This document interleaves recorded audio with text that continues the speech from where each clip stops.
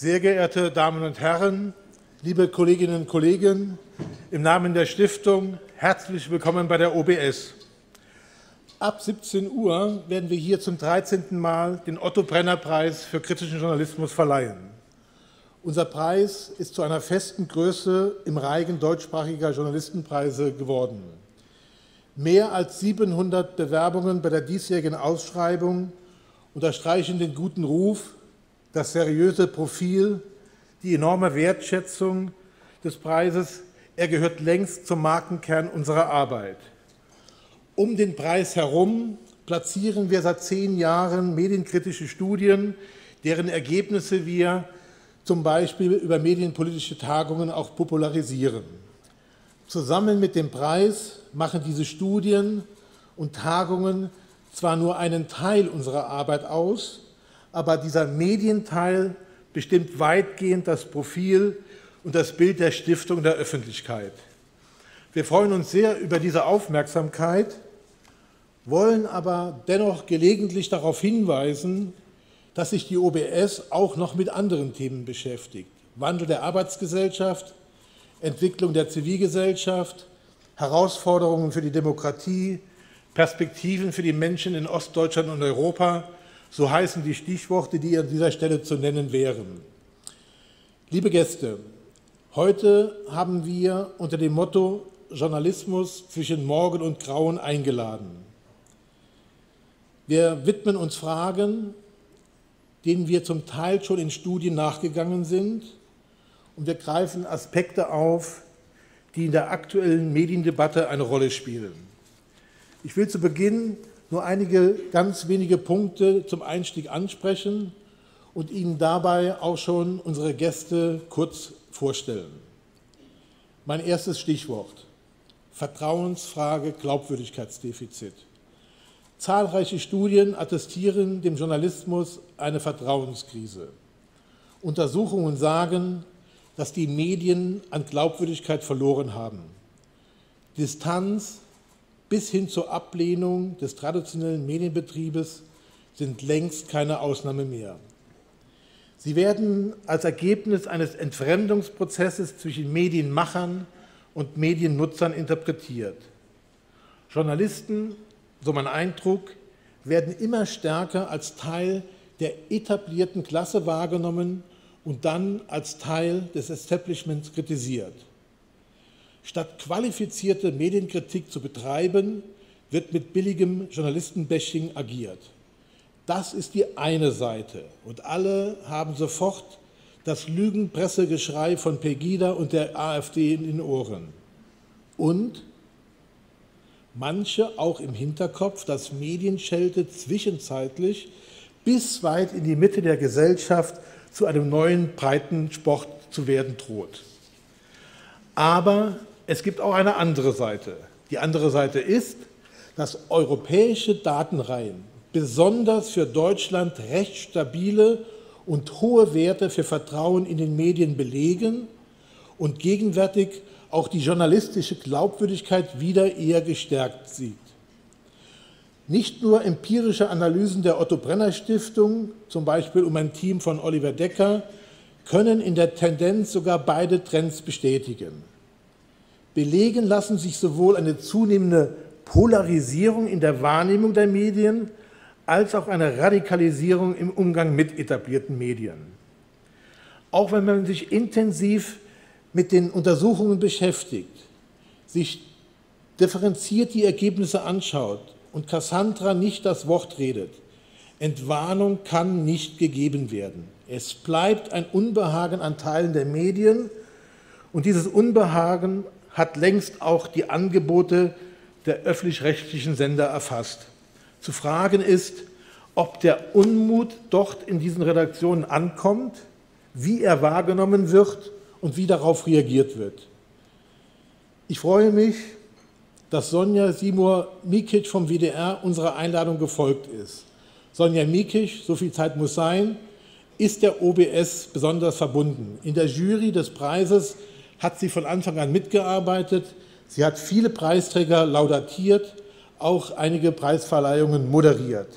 Als Studioleiterin im Ausland, als das Gesicht und der Kopf von Monitor, als Kommentarin in den Tagesthemen und Moderatorin des Presseclubs.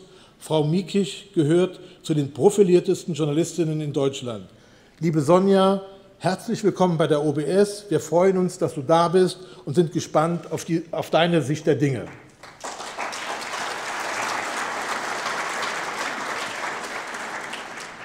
Mein zweites Stichwort, Finanzierungsfragen. Das duale System der Finanzierung der Medien und des Journalismus in Deutschland, hier das über Gebühren finanzierte öffentlich-rechtliche Rundfunksystem, doch der über Anzeigen, Werbung und so weiter organisierte private Teil, dieses duale System hat sich meines Erachtens bewährt. Dieses duale System war ein Erfolgsmodell.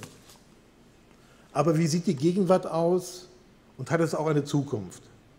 ARD, ZDF, Deutschlandfunk geraten immer stärker unter Legitimationsdruck, auch was die Einnahmeseite und die Ausgabenstruktur anbetrifft.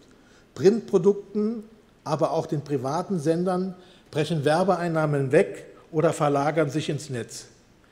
Die heftigen Angriffe der Verleger auf die ARD und die politischen Attacken gegen die Tagesschau sind vielleicht nur aktuelle Vorboten harter Verteilungskämpfe, die drohen und kommen werden.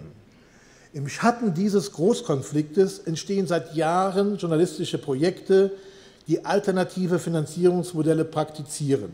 Es gibt Überlegungen, Journalismus über Stiftungen zu finanzieren und ihn gemeinwohlorientiert auszurichten. Auch die Forderung, den Zeitungsmarkt über öffentliche Förderung übergangsweise zu stabilisieren und so überhaupt erst überlebensfähig zu machen, sind im Gespräch. Brauchen wir also so etwas wie eine Demokratieabgabe für Print? Ich freue mich, erstmals bei einer OBS-Tagung Stefan Niggemeier vorstellen zu können. Wer in Deutschland das Thema Medienkritik aufruft, kommt an ihm nicht vorbei. Bildblock-Gründer, Ex-FAS und ehemaliger Spiegel-Mitarbeiter, das sind nur drei Stationen einer vielfach preisgekrönten Karriere im Journalismus. Heute ist er hier, weil er mit Übermedien einen besonderen Weg geht. Er liefert im Netz seinen Kunden Qualitätsjournalismus und seriöse Medienkritik und seine Leser, hört, hört, zahlen dafür. Lieber Stefan Niggemeier, herzlich willkommen bei der OBS.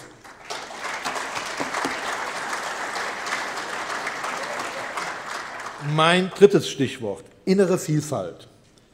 Dass es gelegentlich einen journalistischen Herdentrieb gibt, dürfte spätestens seit der Berichterstattung über die Wulff-Affäre unstrittig sein. Auch von Rudeljournalismus war damals die Rede. Führt diese Gleichförmigkeit zu Mainstream-Medien? Medien also, die einen konstruktiven Meinungsstreit über wichtige Zukunftsfragen nicht führen, die den Trend zur Lückenpresse verstärken, Einheitsbrei servieren, statt Vielfalt glänzen zu lassen. Oder anders gefragt, oh, bilden die meinungsbildenden Journalisten und die führenden Medien noch die Realität im Lande ab? Oder sind sie schon Teil einer Wahrnehmungsglocke, weit weg von den sozialen Wirklichkeit der Republik und ohne Gespür für die Probleme und Bedürfnisse der Menschen.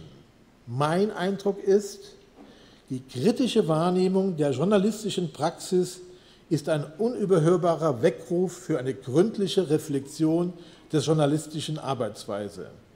Die OBS hat das im Sommer mit einer Fallstudie über die Flüchtlingskrise in den Medien gemacht. Die Studie wurde viel beachtet, auch im europäischen Ausland. Sie hat uns viel Zustimmung gebracht, aber auch ziemlich viel Ärger beschert. Ich freue mich, dass der Studienmacher Professor Dr. Michael Haller heute hier Rede und Antwort steht und dass er uns teilhaben lässt an seiner zugespitzten Einschätzung der Lage des Journalismus in Deutschland im Herbst 2017. Lieber Herr Haller, schön, dass Sie mitmachen. Herzlich willkommen bei der OBS.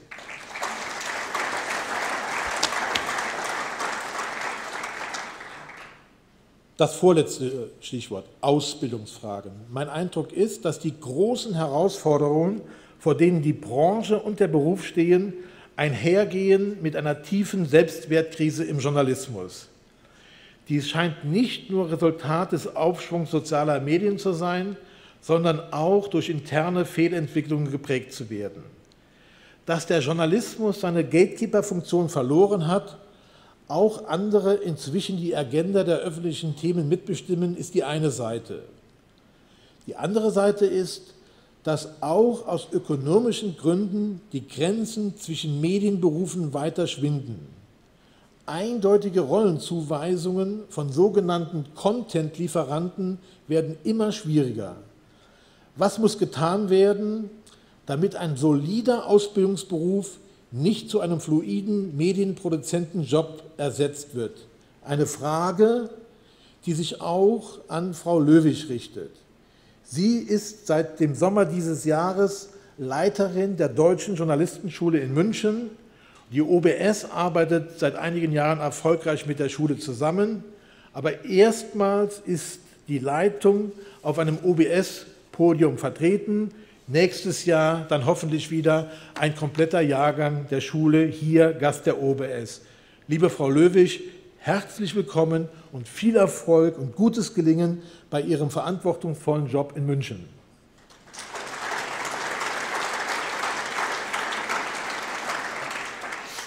Mein letztes Stichwort, Demokratie braucht guten Journalismus.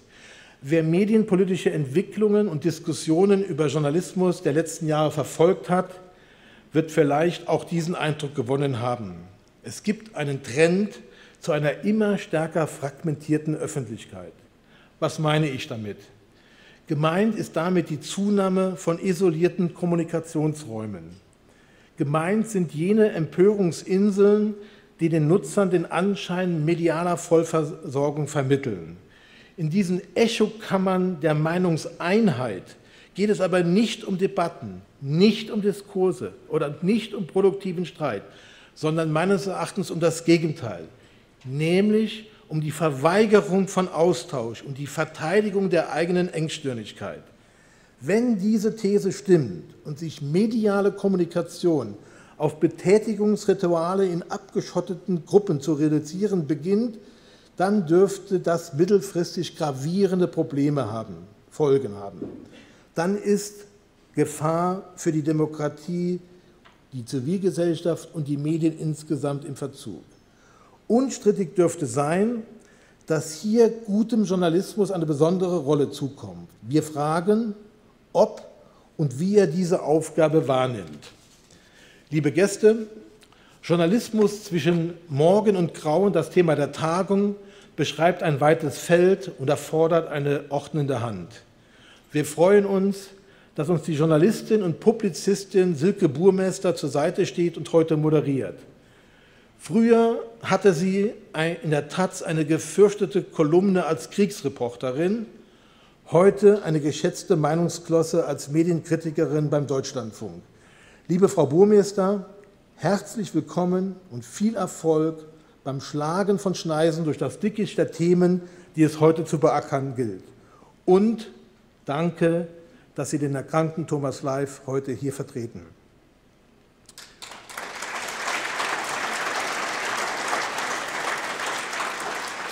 Verehrte Gäste, gestern ist ein neues Buch erschienen. Die Meinungsmaschine heißt es. Der Verlag, äh, der Verlag schreibt, ich zitiere, die Autoren steigen in den Maschinenraum der Medien, legen die Innereien der Meinungsmacher bloß, ergründen, wie sie funktioniert und wer sie steuert. Mit scharfem Blick, so heißt es dort weiter, beschreiben sie die Meinungsmacher von heute, analysieren, wer uns welche Informationen liefert und wem wir noch vertrauen können. Zitat Ende. Als ich diese Vorankündigung las, bin ich direkt auf das Team zugegangen und habe es für heute eingeladen. Petra Gerster, die Autorin, hat Dienst beim ZDF, aber Christian Nürnberger, der Mitautor, hat zugesagt und ist heute hier. Lieber Herr Nürnberger, ganz herzlich willkommen bei der OBS.